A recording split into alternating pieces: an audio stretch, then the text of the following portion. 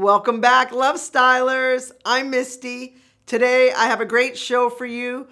Three diet hacks for those of us over 40. And if you're under 40 and you've never been fat, click off right now. You can stay. You seem mature enough to handle what we're going to talk about today.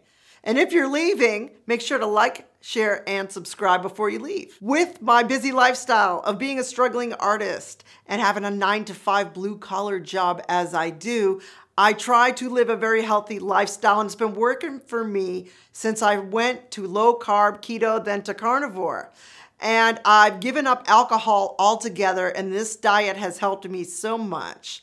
I've given up my food addiction. I've also cured my high blood pressure. I'm no longer on meds for high blood pressure. I've lost 55 pounds and I've kept it off for the past few years. Something that we struggle with when we're older is keeping it off. When I was 35, 30, 25, 20 years old, I didn't have to worry about these things quite as much. When you're 40 years old or over, like I'm 50, and I feel like we've learned a thing or two over the years. We work smarter, not harder at our age.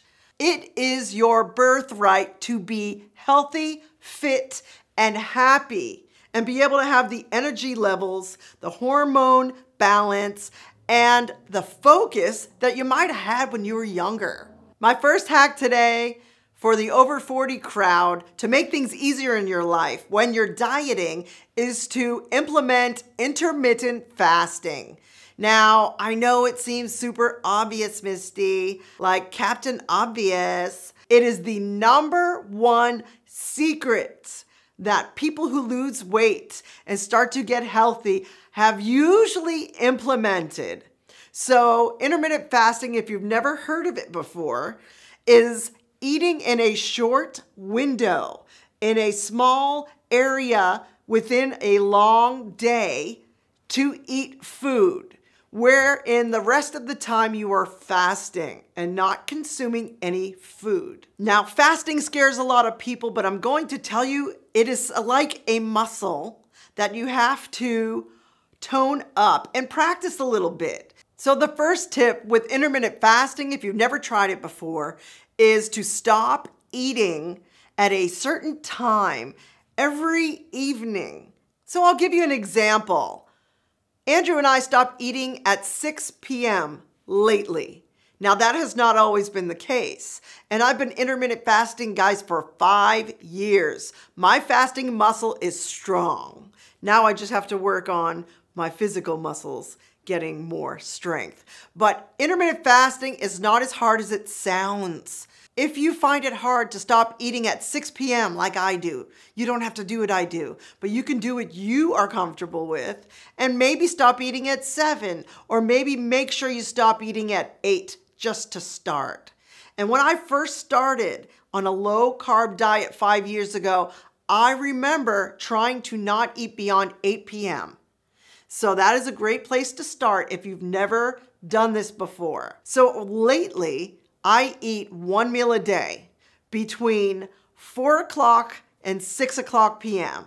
I can eat in between that two hour window. Now, after that, I do not consume anything between 6 p.m. and 4 p.m. the next day. Now that's a little more extreme, and that is called OMAD, one meal a day, O M A D. Now that's a little harder for most people. So the snacking in between meals is the part that a lot of people think is a little bit tricky if they're used to eating six times a day, for example, meaning they have breakfast and then they have a mid morning snack, they have lunch, that's already three meals right there. And then they have a snack in between lunch and dinner. That's four. Dinner makes five. And then they have a, a nighttime snack, which makes six times a day. That is the average. So skipping the in-betweens is a great place to begin. And just having three meals a day, for example, is very, very doable without the snacks in between. So you might eat from 12 to 8 p.m. And that is a great place to start if you're looking for a hack with the intermittent fasting. I bumped into somebody the other day at work, a friend of mine, and I asked, How did you lose weight so quickly from the last time I had seen them? It had only been about three weeks. And they said, I've been intermittent fasting. Now, I don't even think this person was going very, very strict, but they closed and shortened their eating window and did not include the snacks in between meals. And that alone will get you so much further. Some people find it's easier to include coffee if they're skipping the snacks in between when they're first starting to intermittent fast because it's a little bit tricky when your body is getting adjusted to this way of eating. Consuming low carb foods or at least very healthy foods is going to help you that much faster. And I do recommend including pink salt in your diet. Adding a little bit more salt is very, very helpful. My second diet hack for those of us over 40 especially, or anybody, is to find substitutes. And by substitutes, I mean keto recipes, which are low carb versions. They're all over the internet. They saved my butt on my journey in the last few years because I found substitutes for the real foods that I like eating. For example, pizza, chicken crust pizza. Check out Keto Connect. There's tons of other great channels that do a lot of recipes. Where there's a keto version and a low carb version and even carnivore versions of substitutions for the real foods we love. I was talking to Andrew last night and I said, What do you think are the most popular dishes in America that we go to first? Burgers, wings, pizza, and ice cream is what we came up with for the most popular foods that people gravitate towards. Oh, and also, I think I forgot one. What about chicken tenders? They're like my fave. Yeah, I really love chicken tenders. I've been eating them my entire life. They're my favorite. No, they're my favorite. My favorite. My favorite. Which coincidentally, I made chicken tenders last night with zero flour. I just used seasoning, some egg, and baking powder. And it served as a breading. And it was great. Guys, I'm telling you, it was like Chick-fil-A in my house last night. I even made some low carb sauces to dip them in. A buffalo sour cream mayo. I used the Chosen Foods avocado mayonnaise to add to the sour cream and I made some dipping sauces to make it more fun. So it was a substitute and you can make like a chicken crust pizza. I've done a fathead crust pizza and you guys probably already know about this stuff, but it's so amazing and so fun when you start to figure out that you're really not going to miss out on your favorite foods. Now, is it 100% like the crappy version, the unhealthy version? No, but it's close enough to get the job done. If it wasn't for those recipes, I don't think I would have stayed on keto. And then I wouldn't have made my way to carnivore, where I am so happy right now. And there's even a lot of carnivore recipes like chaffles, Maybe I'll throw up a thumbnail here so you can see that I have a chaffle video. It's just cheese and egg and I make hamburger buns and everything with this and it has saved my butt so many times. There are so many reasons why we have to find substitutes for regular foods because the most important is we don't want sugar in our life anymore. There are so many hidden sugars in so many packaged foods. So when I say substitutes, a lot of times I mean for the packaged foods that we maybe grew up with on the standard American diet. Like I know I did, like potato chips and things like that. You have to pick up new substitutes like pork rinds, for example. Ketchup is a big staple for Americans and mayonnaise. And there are healthy versions of both of these now. Now, I love Primal Kitchen and Chosen Foods. Check out both of those and you will see it costs a little bit more, but it is worth it. And I've had no reactions to these substitutes. Of course, we're getting rid of diet soda and regular soda. I know it's so obvious. I shouldn't even have to say it. You could say no shit, Misty, in the comments, and I won't even get that mad. So, most foods today that we consume are packaged and processed as you know. They include sugar, a lot of sugar, and things that don't even taste sweet. There are a lot of hidden sugars in foods that you would never ever expect. There are terrible oils that jack up our gut and give us leaky gut, which causes inflammation and makes us become overweight and unhealthy. There are also flours, emulsifiers, things to get things to stick together and they are on the list of terrible things for our body. And they're in so many things, almost everything. Gluten, MSG, and so many other things that they add to foods to keep them on the shelf forever. So these are the things I'm talking about, mostly things in a package.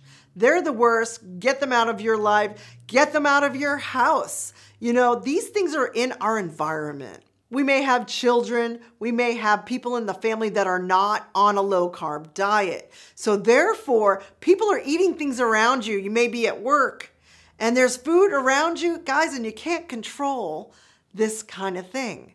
One thing about food is it's a necessity. And I have to thank my friend Kim, hey Kim, for bringing this to my attention. You know, food is a necessity. And if you have a food addiction, and there's food around you all the time that you're trying not to consume. It is really, really tough. You know, with me, I was an alcoholic and I'm addicted to alcohol. So I just got it out of my life and I didn't hang out where there was a lot of alcohol around me, and that made it a lot easier. But with food, we don't have that option. You know, everybody is eating around us constantly, several times a day, whether it's three times a day, six times a day, all the people you run into, someone's always eating. Are they always eating healthy foods? Probably not, maybe sometimes. But when we are exposed in our environment to all of these processed foods, especially, it becomes very, very difficult but doable when you just make that decision to do this for yourself. The first step really is to start saying no to those bad foods, those processed foods that are constantly around you. And you can do it. You can do it. Count your no's, I say. You may be counting your yeses when you allow a treat now and then, which I do. I allow a treat now and then. It gives me a healthy balance in my life. If I'm on vacation or it's my birthday or Andrew's birthday, we will have something off plan occasionally. So you can allow something now and then that is off plan, but I'm talking about on the daily. Count your no's this week. One, one. Yeah, like one, one. And my third diet hack for those of us over 40 who like to work smarter, not harder after all these years, so we can keep the weight off because it's harder to lose, is non rigorous or moderate exercise. So, this is a big, huge, misunderstood topic I have found, especially in the diet community. Now, a lot of the younger folks who have diet channels, for example, or something to sell you, will try to get you to work out like a beast in the gym, CrossFit, and even just doing too much exercise, too heavy weight, and really pushing yourself beyond kind of a comfortable limit is the opposite of what I'm recommending. Now, I am not at my goal weights. I have a muffin middle. I have a muffin top but I also have a muffin middle. And I'm working on trying to lose that. I'm 50 years old and it drops off just a bit slower, but I want it to be steady and it has been steady ever since I went on a low carb diet five years ago. So I love a carnivore lifestyle, which includes a mild to moderate exercise, regime, if you will. We walk every single day if we can. There are some days it rains. There are some days where I should stay home and do yoga, but I'm terrible at yoga. Now, Andrew does yoga better than I do, which is a little more unusual for guys. But he is probably at a level one to two with yoga. Now, I'm at a level negative zero when it comes to yoga. I admit it. I do not love yoga. I'm to get into it this year, guys. I'm to push myself a little bit, not rigorously, but at my comfort level. Because when you tax out your hormones, especially if you're female and you're over 40, we know now that taxing your hormones can really jack you up. And I know this is true, I've done it. So I had to step back and decide Misty, what is best for your comfort level, for your age, for your body style? Because walking for me right now is working out great. I try to walk five days a week if the weather permits. I'm walking uphill and I'm getting in three miles every time I walk. Now, I have not always done it this way. At first, I couldn't even walk a mile without getting out of breath. And that was on a flat surface. So I've come a long way. It is still mild exercise and it is still great for my heart and it is still very, very doable and very comfortable. Now I could stand to lift some heavy weights and I have had bouts of gym memberships over the years and that's great. But I've messed myself up in the gym by being too egotistical about the weight that I wanted to lift. And I've torn some muscles. And then you have to recover. And when you have to recover, you are not exercising. It's something that I've noticed being over 40 is when I really have to pay attention to how much weight I'm lifting, how much exercise I do that's beyond the scope of what I'm used to. Come in slow. If you're going to add weight, add it very, very slowly and carefully. So we are walking outdoors only. And we got rid of our gym membership because we want as much sunshine and vitamin D as we can get. Walking out in nature, appreciating this world that we live in, looking up at the sky and the clouds and the beautiful sun shining down on you. It's great for you for so many reasons. You'll sleep like a baby, especially. And that's something I've noticed lately since we've added a little more distance to our walk is that I sleep a lot more sound. So that's always great. I want to add a bonus hack here. Talk nice to yourself. And I struggle with this because I feel funny looking in the mirror and saying, I love you, Misty. You are wonderful. You are slim. You are healthy. You are toned. You are smart. And it feels funny when you look in the mirror, but they say it works. And I'm not going to say I haven't done it even more recently. And it only feels funny at first, and then you can make kind of a joke out of it. It does sink in when you look yourself in the eye in the mirror and talk nice to yourself. But also when you're walking around during the day, are you talking nice to yourself? Are you saying, oh, you're just fat and you just ate too much? Forgive yourself if you have a little treat now and then. You're not a bad person. Get right back on it, though. Do not throw in the towel and say, well, I already cheated on my diet, so I might as well go all the way and cheat for the rest of the day, the rest of the week, and the rest of your life. Because we get to those appointments at our doctor's office once, twice a year, and the most thing we fear, especially us women, is getting on that scale. Getting on that scale, I've been there. I still hate it. And I think we would almost rather go on medication than step on that scale at the doctor's office. So please talk nice to yourself and know that you are worth it and this is your birthright to be happy, healthy, and fit. We want to thank you for tuning into Love Style today, listening to Black Eyed Soul. That's our music. Andrew and I record right here in this room. Go to blackeyedsoul.com if you want to support the channel.